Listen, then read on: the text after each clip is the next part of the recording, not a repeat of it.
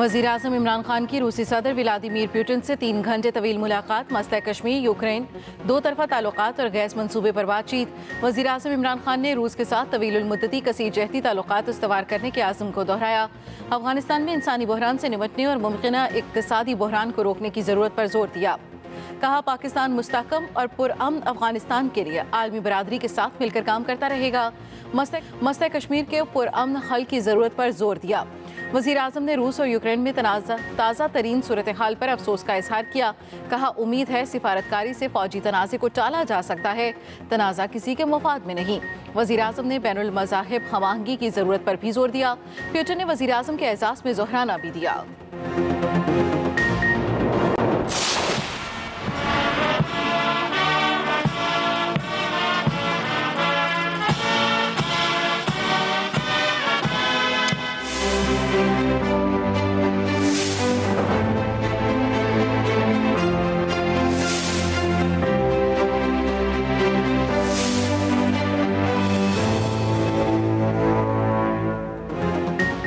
पाकिस्तान और रूस में ताल्लुक के नए बाब का आगाज़ वज़ीर अजम इमरान खान का रूस का कामयाब और तारीखी दौरा।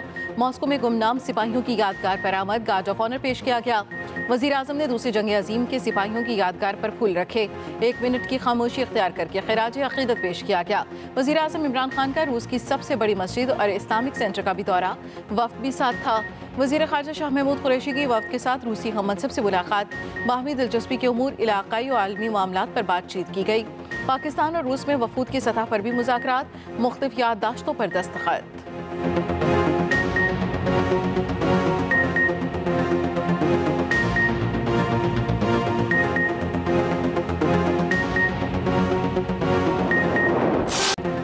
रूस ने यूक्रेन पर हमला कर दिया। कैफ समेत दीगर शहर धमाकों से गूंज उठे। मार्शल्ला नाफिज 40 फौजियों समेत 50 से ज़्यादा अफराद हलाक हो गए। यूक्रेन का जवाबी कार्रवाई में पाँच रूसी तैयारे और एक हेलीकॉप्टर तबाह करने का दावा। फिजाई हदूद सिविल फ्लाइट्स के लिए बंद, तीस से ज़्यादा अस्करी और सिविल तनसीबात पर मिसाइल दागे गए। यूक्रेन का एयर डिफेंस सिस्टम भी तबाह कर दिया गया। फौजी अड्डों को भी मिसाइल हमलों से निशाना बनाया गया। दारुल हुकूमत केफ समेत कई शहरों पर बैक वक्त हमले किए गए। यूक्रेन के वज़ीर खारजा की दुनिया से किरदार अदा करने की अपील, कहा, आलमी रहनमा प्यूटन को रोकें। यह अमली इकदाम का वक्त है। हर कीमत पर मुल्क का दिफा करेंगे। रूसी वज़ीर दिफा के मुताबिक यूक्रेन के शहरियों को कोई खतरा नहीं।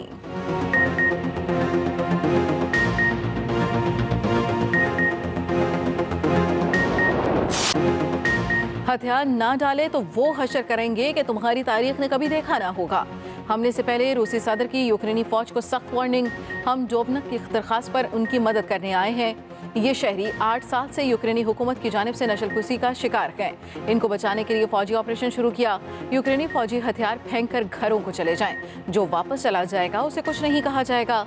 जो खतरा बनेगा, उसे कीमत चुकाना पड़ेगी। हम हर नतीजे के लिए तैयार हैं।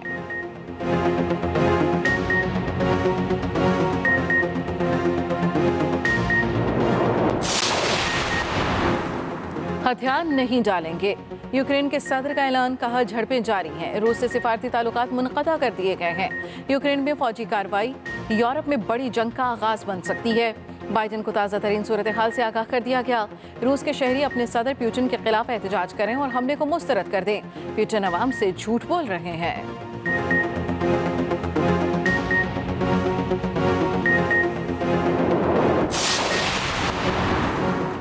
अमरीका और इतिहादियों समेत पूरी दुनिया रूस का एहतसाब करेगी। अमरीकी सदर जो बाइडन का पैगाम, कहा यूक्रेन पर हमले से होने वाली हलाकतों और तबाही का जिम्मेदार अकेला रूस होगा। बरतानवी वजी अजम बोरिस जॉनसन ने कहा, प्यूटन ने तशद की बड़ी लहर को जन्म दे दिया।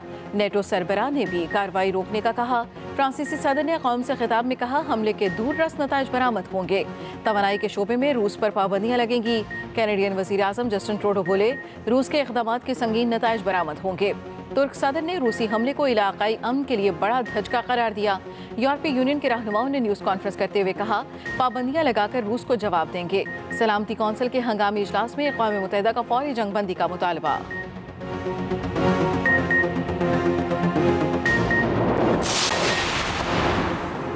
रूस और यूक्रेन का असल में कोई मुकाबला नहीं है। आदाद शुमार और ज़मीनी हकाइक में रूस बहुत ज़्यादा ताकतवर। दिफाई साजो सामान के अतबार से दुनिया की दूसरी बड़ी ताकत है, जबकि यूक्रेन का बाईसवां नंबर। रूस की फौजियों की तादाद 9 लाख, जबकि रिज़र्व दस्तों में 20 लाख फौजी शामिल। यूक्रेन के पास सिर्फ़ 2 लाख की फौज है। रशिया के पास 1500 से जायद जंगी तैयारे, जबकि यूक्रेन के पास अट्ठानवे मौजूद। दोनों मुल्कों पर खसूसी रिपोर्ट, इसी बुलेटिन का हिस्सा।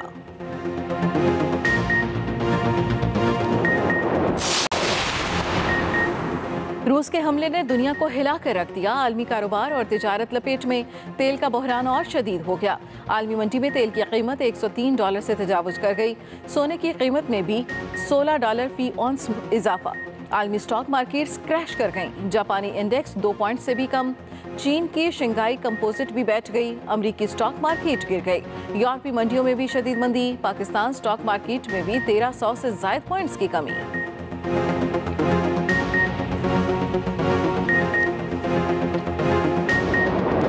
मेरी बेटी ने अपनी ज़िंदगी और अपनी आबरू इज़्ज़त बचाने के लिए अपनी जान दे दी ताकि बाकी बेटियाँ जो हैं वो महफूज रहें। जहाँ तक मरकजी मुलजिम है, उसके फैसले से हम मुतमिन हैं।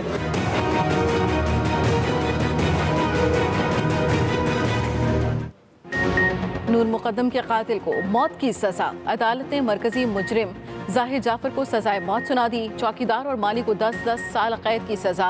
मुजरिम के वालदेन जाकिर जाफ़र और असमत आदम समेत थेरेपी वर्क्स के तमाम मुलाजमीन बरी। एडिशनल सेशन जज ने फैसला सुनाया। मुजरिम ज़ाहिर जाफ़र पर पाँच लाख रुपए जुर्माना भी आयद किया गया। रकम बतौर मुआवजा नूर मुकदम की फैमिली को दी जाएगी। जाति के जुर्म पर ज़ाहिर जाफ़र को 25 साल कैद बामुशक्कत और दो लाख रुपए जुर्माना भी आयद किया गया। अगवा पर 10 साल कैद की सजा और एक लाख रुपए जुर्माना आयद किया गया। केस का ट्रायल चार माह आठ दिन में मुकम्मल किया गया। नूर मुकदम के वाले शौक मुकदम ने कहा, आज इंसाफ की फतह हुई।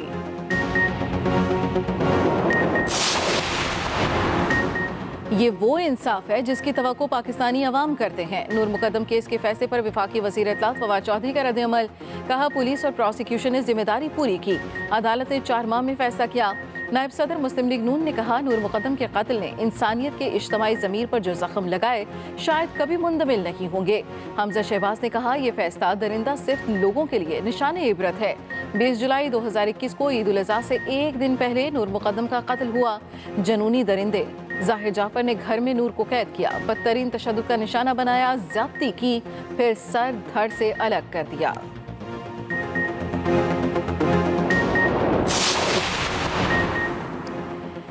पेगा कानून में सिर्फ़ इख्तलाफ करने वालों को टारगेट किया गया। कवानीन को ऑर्डिनेंस के ज़रिए ड्रैकोनियन बनाना तशवीशनाक है।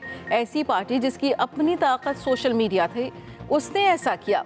Chief justice Islamabad high court के पीका ऑर्डिनेंस के खिलाफ यकजा दरखास्तों की समात के दौरान रिमार्क्स, कहा, अफसोस से कहना पड़ता है, हुकूमत के खिलाफ आवाज़ उठाने वालों के खिलाफ कार्रवाइयाँ की गईं।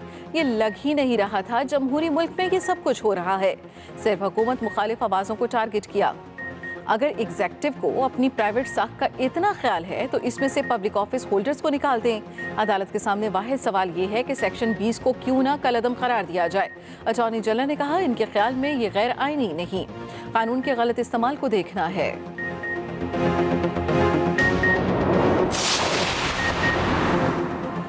लाहौर हाई कोर्ट में पैका तरमीमी ऑर्डिनेंस 2022 के खिलाफ दायर दरखास्त पर समात। अदालत ने पैका कानून 2016 और 22 के दरमियान।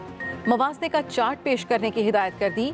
आइंदा समात पर दरख्वास्त गुजार वकील को तैयारी करके पेश होने का हुक्म दे दिया।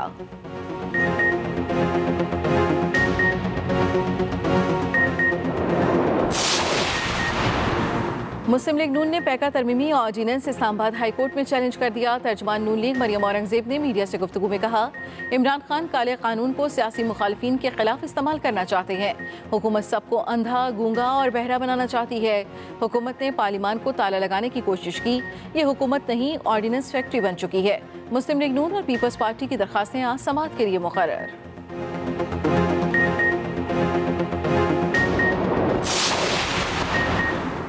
मुल्क में सियासी माहौल गर्म। लाहौर तवज्जो का मरकज जमात इस्लामी का कौमी असम्बली में एक वोट अहमियत इख्तियार कर गया। पीपल्स पार्टी ने जमात इस्लामी से भी अदम एतम पर साथ मांग लिया। आसिफ अली जरदारी की मंसूरा में अमीर जमात इस्लामी सिराजुल हक से मुलाकात।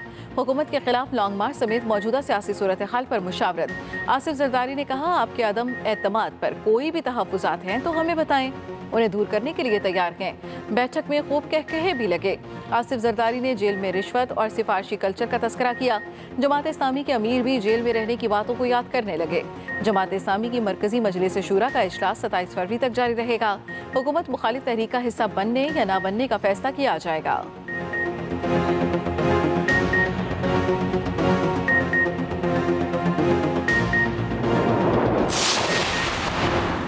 अपोजिशन के बाद हुकूमती इतिहादी भी मुतहरिक। इतिहादियों के आपस में रबते एम के एम का मुस्लिम लीग की क्यादत से रबता। मोना सिलाही ने अमीन हक को टेलीफोन किया। खालिद मकबूल सिद्दीकी की भी फ़ोन पर मोना सिलाही से बातचीत। जल्द मुलाकात पर इतफाक जराये के मुताबिक एम के एम और मुस्लिम लीग सियासी मंजरनामे पर मुशावरत से चलेगी।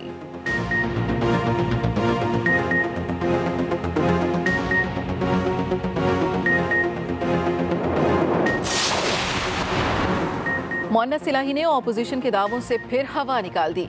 कहा, सियासी बातचीत और मुशावरत चलती रहती है। मतलब ये नहीं कि कोई फैसला कर लिया। वादों के पाबंद हैं। उनका मुकम्मल एहतराम करेंगे विफाक वज़ीर मोना सिलाही और स्पीकर कौमी असम्बली में भी रबता। कहा, हुकूमत के इतिहादी हैं और साथ खड़े रहेंगे। आदम एतम पर अपोजिशन के साथ ताउन की यकीन दिखानी का गलत तासर दिया जा रहा है।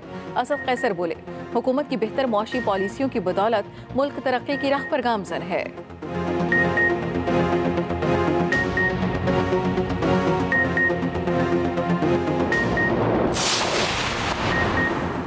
तहरीक इंसाफ और इतिहादी जमात एम के एम के दरमियान मुलाकात, विफाकी वज़ीर अली जैदी की क्यादत में पी टी आई का वफद एम के एम पाकिस्तान के मरकज।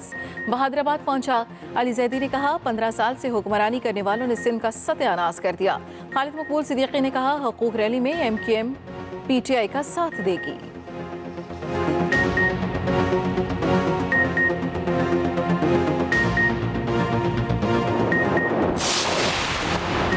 कराची में स्ट्रीट क्राइम्स के खिलाफ एम के एम सड़कों पर रैली निकाली गई। रबता कमेटी के अरकान ने आई जी सिंध को याददाश्त पेश की। खालिद मकबूल सिद्दीकी ने कहा, मासूम शहरियों को लूट कर कत्ल किया जा रहा है। तमाम कार्रवाइयों के पीछे सबको पता है कौन है। अब ऐसे नहीं चलेगा। सिंध के शहरी इलाके डाकुओं के रहमो करम पर हैं। ख्वाजा इजहार हसन बोले, पुलिस की काली भेड़ों को बाहर निकाला जाए। स्ट्रीट क्राइम पर सदर पाकिस्तान, गवर्नर और वज़ीर आज़म का बयान क्यों नहीं आता?